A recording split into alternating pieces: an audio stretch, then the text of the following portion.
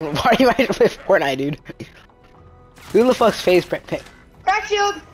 Nice. Oh shit. Uh oh.